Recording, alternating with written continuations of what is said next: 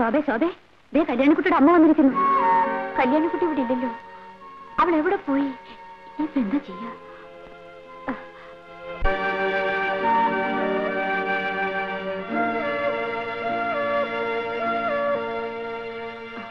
വരൂ.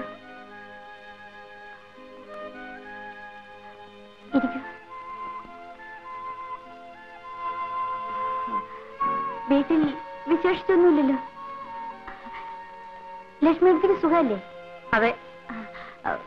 ഞങ്ങളുടെ പരീക്ഷ അടുത്താഴ്ച തുടങ്ങാണ്. അറിഞ്ഞു.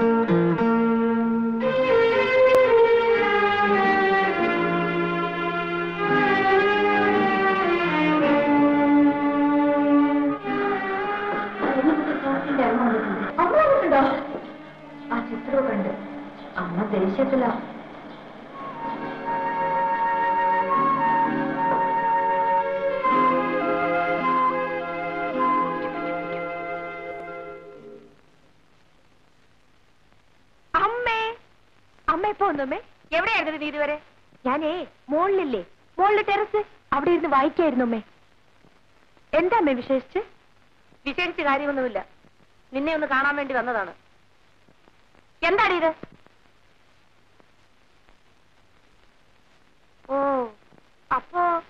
കേട്ടതൊക്കെ നേരായിരുന്നു അല്ലേ? ചുമ്മാ ഇരിക്കും അമ്മേ. ഓരോന്ന് പിള്ളേർ പറഞ്ഞുണ്ടാക്കുന്നു വെച്ച് വെറുതെ പറയുന്നതോ? അന്വേഷിച്ചറിയാൻ പറഞ്ഞിട്ട് ഇവിടെയുള്ള നിന്റെ ചെറിയച്ഛൻ എനിക്ക് കത്തയച്ചിട്ടുണ്ടായിരുന്നു. എന്താണ് നിന്റെ ഭാവം? വിവാഹമാണെങ്കിൽ എനിക്ക് വേറെ വിവാഹം വേണ്ട. ആ ക്യാപ്റ്റന്റെ വീട്ടുകാർക്ക് ഏതാണ്ട് വാക്ക് കൊടുത്ത പോലെയാ. ഞാൻ ആർക്കും വാക്ക് കൊടുത്തിട്ടില്ല. മതി പഠിച്ചത്. വേഗം പോകാൻ തയ്യാറായിക്കൊള്ളൂ. അത് പരീക്ഷയാ? അതിന് നീ പഠിച്ച കാര്യങ്ങളൊക്കെ പരീക്ഷയ്ക്ക് എഴുതാൻ പറ്റിയതല്ലല്ലോ. പരീക്ഷ എടുത്തു എന്ന് അറിഞ്ഞുകൊണ്ട് തന്നെയാണ് ഞാൻ വന്നത്. നീ പരീക്ഷയ്ക്ക് എഴുതാൻ വേണ്ട പാപ്പാകുകയും വേണ്ട. അമ്മ ഞാൻ പറയുന്ന കേൾക്കൂ കല്യാണി പത്ത് ദിവസത്തേക്ക് ലീവിൽ എഴുതി കൊടുത്തോളൂ.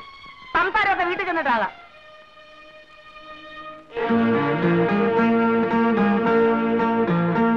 പ്രഭു മൈ ഡിയർ പ്രഭു ഞാൻ വരാം കേട്ടോ.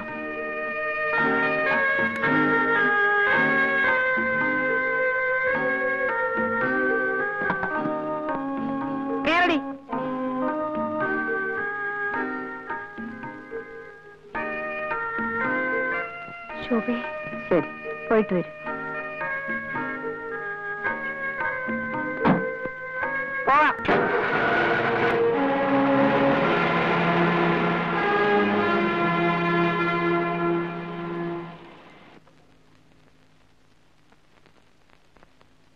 വീട്ടിൽ പോയി ചേട്ടനോട് പറഞ്ഞു കൊടുക്കൂ. ഒരു പെൺകുട്ടിയോട് നശിച്ചു എന്ന് ഇനി ചേച്ചിയും കൂടിയുള്ളൂ ബാക്കി. പറഞ്ഞോളൂ. ഇഷ്ടം പോലെ പറഞ്ഞോളൂ. നിങ്ങൾക്കൊക്കെ ഇതൊരല്പം നിയന്ത്രിച്ചുകൂടെ? നിയന്ത്രിക്കേണ്ടവരൊക്കെ തന്നെയാണ് ചേട്ടനെ ഇങ്ങനെയൊക്കെ ആക്കി തീർത്തത്. അവരൊക്കെ ആഗ്രഹിച്ചതുപോലെ ചേട്ടൻ ഇപ്പോൾ ആയിട്ടുണ്ട്. അവരോ? ആരാത് അമ്മ. ഞങ്ങളുടെ അമ്മ. അച്ഛൻ. എന്തച്ഛൻ?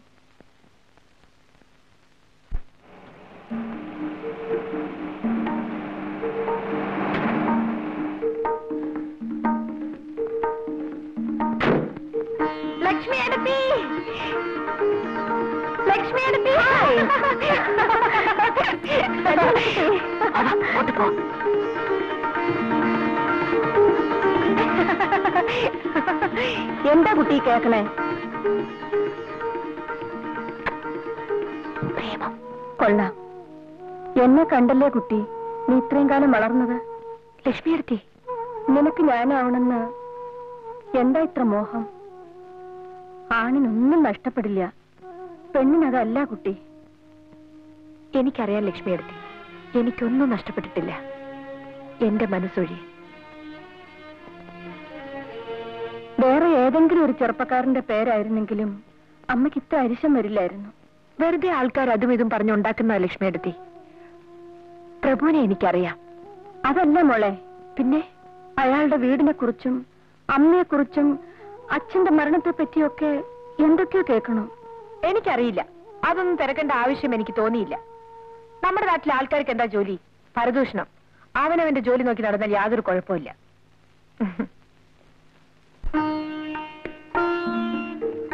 my dear Prabhu my darling Prabhu വേണ്ട.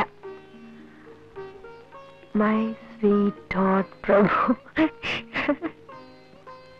അമ്മ വീട്ടിൽ കൊണ്ടുവന്നിട്ടിരിക്കുകയാണ് കിളികളെയും മറ്റും കൂട്ടിലിട്ടടക്കില്ലേ അതുപോലെ.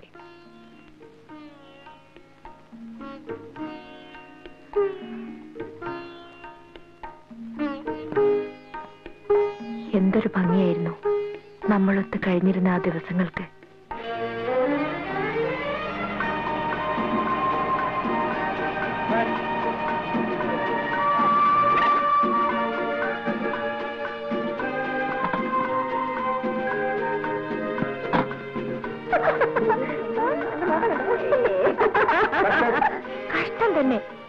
എന്തായി കുട്ടികൾക്ക് അവർ പിന്നെ എന്ത് ചെയ്യണം? ഓടിച്ചെന്ന് മാലയിടണോ? നിനക്കയിൽ ഹീറോ ആയിരിക്കും. എന്ന് പറഞ്ഞ് എന്ന് പറഞ്ഞ് ഇങ്ങനെ അങ്ങ് പേടിക്കാൻ തുടങ്ങിയാൽ അത് കുറച്ച് കടുപ്പം തന്നെയാ. ഒരാൾ സിസ്റ്ററിനെ കാണാൻ ഹോസ്റ്റലിൽ വന്നാൽ ഇങ്ങനെയാണോ പെരുമാറേണ്ടത് അങ്ങനെ അങ്ങ് ആളെ പിടിച്ച് നിന്ന ആളാണോ? ഞാനൊന്ന് നോക്കട്ടെ. കല്യാണി കല്യാണി.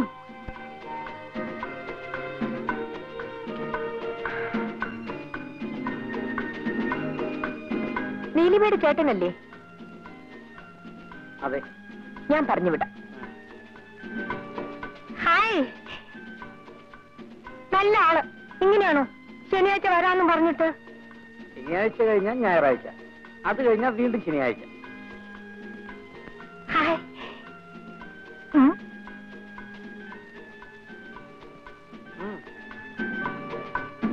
താങ്ക്സ്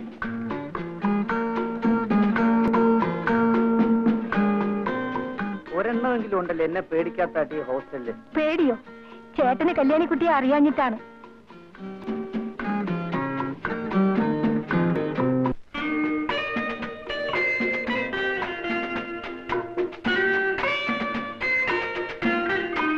ഇവരൊക്കെ ആരാ?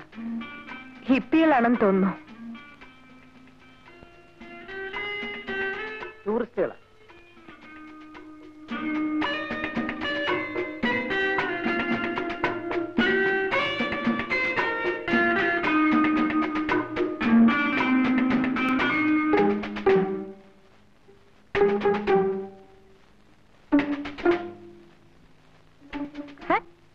ഇതെല്ലാം ചില പഴയ ടെക്നിക്കുകളാ ദേ നാടൊട്ട് ചീത്തപ്പേരുള്ള ആളാ.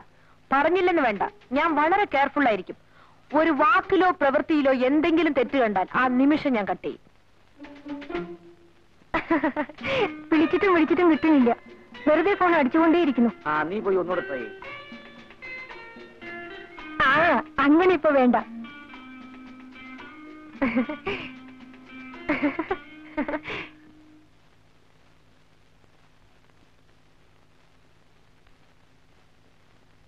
എന്തൊരു കിടപ്പാടി ഇത്?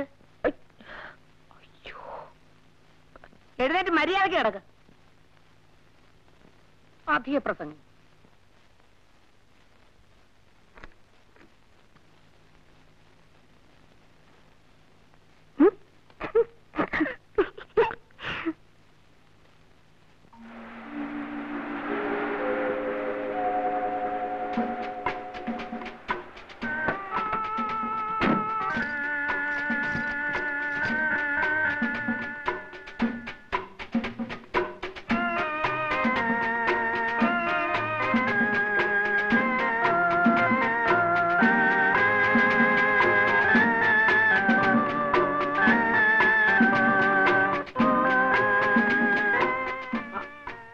വന്നു.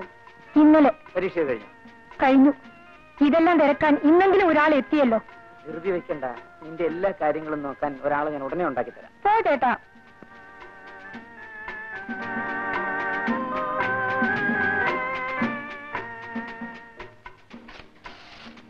കേട്ടന്റെ ചേട്ടന്റെ മനസ്സിൽ എന്താ ഉള്ളതെന്നൊന്ന് അറിഞ്ഞാൽ ഞാൻ തന്നെ കല്യാണിക്കുട്ടിക്ക് ഒരു കത്ത് എഴുതാമായിരുന്നു എന്റെ മനസ്സിൽ എന്താ ഉള്ളതെന്ന് അറിയാമോ ഒരു വലിയ മണ്ണാങ്കട്ട. ഇത്രയും വലിപ്പമുള്ള ഒരു വലിയ മണ്ണാങ്കട്ട. എന്റെ അടുത്തുനിന്ന് രക്ഷിച്ചോണ്ട് പോയിരിക്കല്ലേ അവിടെ വീട്ടുകാര്?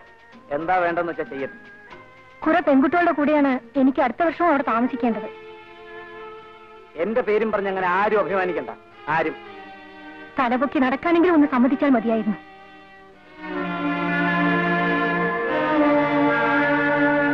അമ്മേ അമ്മയെങ്കിലും ചേട്ടനെ വിളിച്ചൊന്ന് പറയൂ. ഈ കളി മതിയാക്കാൻ. ഞാനോ?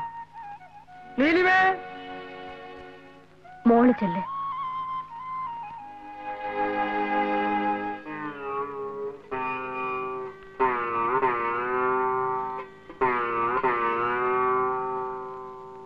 ഞാൻ പറഞ്ഞാൽ നീ അതനുസരിക്കും. അച്ഛൻ പറഞ്ഞതാണല്ലോ എന്ന് കരുതി.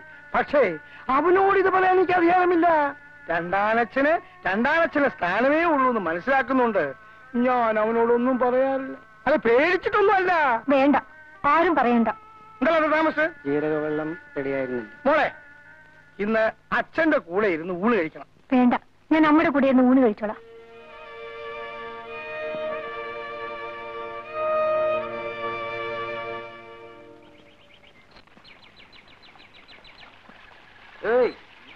എല്ലാ പിള്ളേരും കോളേജിൽ പോകുന്ന പരീക്ഷ എഴുതാനാ. ഈ നാട്ടിൽ ചില പെൺപിള്ളേര് പരീക്ഷ എടുക്കുമ്പോ മുലക്കുപ്പി അന്വേഷിക്കില്ല പണി. എടോ തന്റെ ഒരു കാലേ പൊട്ടിയിട്ടുള്ളൂ. അടുത്ത കാലും കൂടി. അവരോട് അവരോടൊന്നും സംസാരിക്കാൻ നിൽക്കണ്ട. നമുക്ക്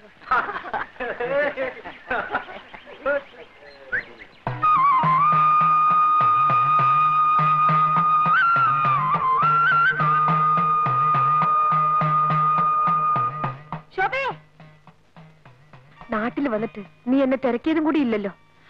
പരീക്ഷയ്ക്ക് എങ്ങനെ എഴുതിയിടാ? തിരക്കിയിടില്ല. ശോഭേ വരൂ കുട്ടി. നിൽക്കാൻ നേരമില്ല.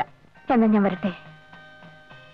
ആ കുട്ടിയായിട്ട് വലിയ ചെള്ളാത്തൊന്നും വേണ്ട. അതിനോട് മിണ്ടിയാ മതി നിനക്കൂടെ ചീത്തപ്പേര. വരൂ.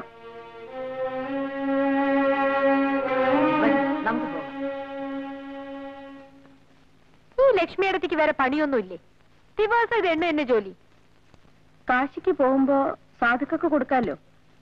ഒരു നൂറ്റൊന്ന് രൂപയെങ്കിലും ആയിട്ടാവട്ടെ. അതെ അതെ. എന്നും ഇങ്ങനെ കാശി രാമേശ്വരം എന്ന് പറഞ്ഞിരുന്നോളൂ. കല്യാണമൊക്കെ കഴിഞ്ഞ് സുഖമായിട്ട് ജീവിക്കുന്നതിന് പകരം. അതിനൊക്കെ ഒരു തലയിലെടുത്ത് വേണ്ടേ കുട്ടി? പിന്നെ ഇവിടെ ഇങ്ങനെ യാതൊരു അല്ലലുമില്ലാതെ കഴിയുന്നുണ്ടല്ലോ. അത് തന്നെ ഒരു വലിയ ഭാഗ്യം. നിനക്കറിയില്ല. തറവാട് ഭാഗം വെച്ചപ്പോ എനിക്ക് പതിനാറ് വയസ്സാ. ഒരു വസ്തു അറിയില്ല. എല്ലാരും